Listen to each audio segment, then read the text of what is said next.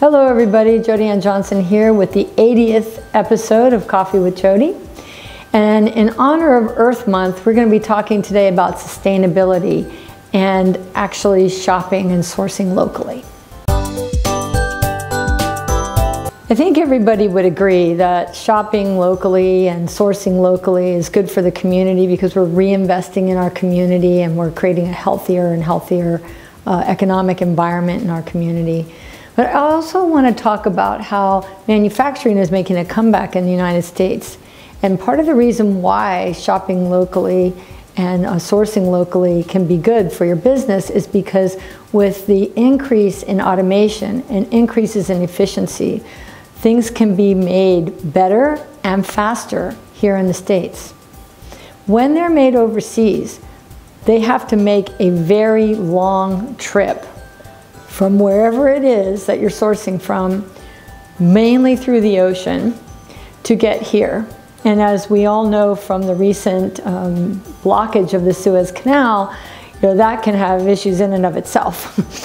but the the important thing is that we are gaining efficiencies which are driving down cost and demonetizing what it actually costs to have anything from a computer to a television and so on. Yes, of course, labor can be sourced uh, much cheaper in other parts of the world. However, it can also have a limit to the amount of talent that's uh, in the area that you're sourcing from, as well as the standards that we in the US are accustomed to. So being competitive isn't just about having lower labor costs. It's also about efficiencies.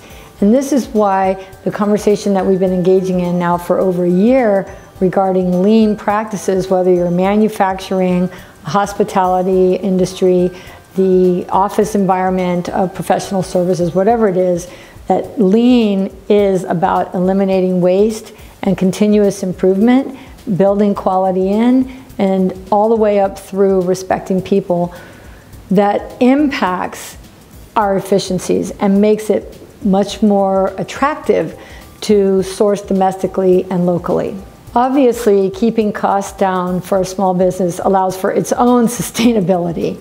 And while that's really important, I often have to coach people on looking at the hidden cost, whether it's elevated logistics fees, whether it's errors, whether it's delays that impact their ability to be um, cost effective overall. Many times we're looking at costs inside of silos when we really need to be looking at overall costs and making sure that through that analysis that our costs are kept low because we've been able to be smart about identifying hidden costs, whether it's keeping excess inventory because we're worried about being able to get the supply that we need, or it's about having to send something back because it was the wrong product, the wrong size, you know, and so on with errors that get made.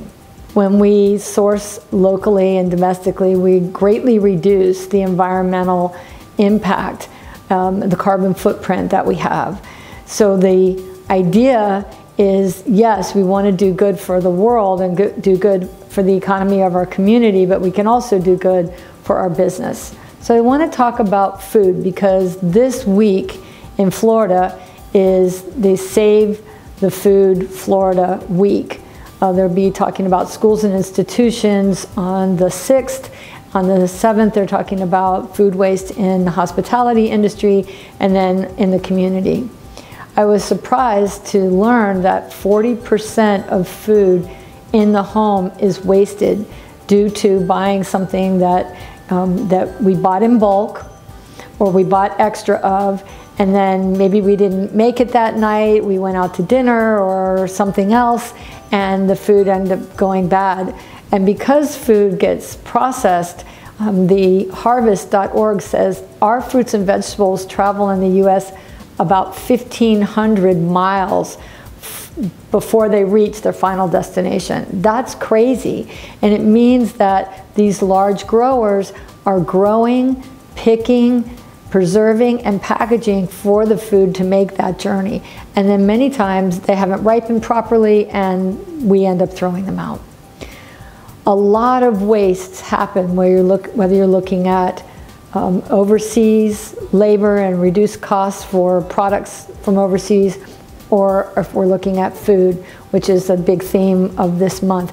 Either way, when we begin to invest in locally sourced foods, locally and domestically sourced products, we gain a stronger economy and we reduce the carbon footprint, which reduces the environmental damage and helps us to restore the earth, which is the theme of this year's uh, Earth Day on April 22nd. The last thing I want to share with you is the, the journey of the coffee bean. I was wondering about the journey of the coffee bean because most coffee is grown in other parts of the world. I don't know if you know this, but 62% of Americans have coffee every morning when they wake up. And the coffee bean, whether it's grown in Brazil or in Vietnam or anywhere else, ends up at a 12 cent to 25 cent per pound that ends up going to the actual farmer. From the farmer, it gets taken, packaged, and sent to a mill.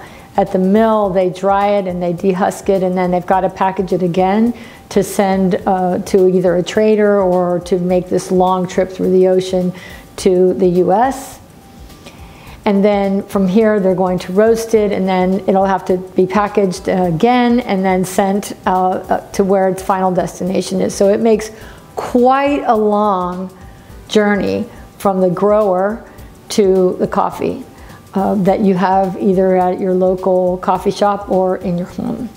Now I hate to admit it, but I will let you know that we make a pot of coffee and we don't always drink it all. So I'm looking at, gosh, you know, do we need to make less coffee? and then use the Keurig in the office if we want more coffee later in the day. But I have to admit, we waste coffee. To think that the farmer only gets between 12 and 25 cents per pound is really sad. So we looked at the uh, coffee growing farms here in the US. It says there's only three places that they can grow coffee successfully in the US, Hawaii, California, and Puerto Rico. So now we're looking at where can we begin to get our coffee so that we reduce that carbon footprint and actually get locally and domestically sourced coffee. All of this is quite a lot to take in. Um, it can be almost overwhelming. However, if you start to investigate and dive into sourcing locally and at least domestically, you may be quite surprised at how beneficial it is to your company, how it could lower your cost by preventing errors, delays, and logistical fees and so on, and make it better for our Earth. If you enjoyed this video, please like it, share it, and subscribe to my YouTube channel where we'll be continuing to talk about lean, sustainability in the office, out in our world, uh, and you know, just generally making the world a better place by being a business for good. That's it. Bye for now.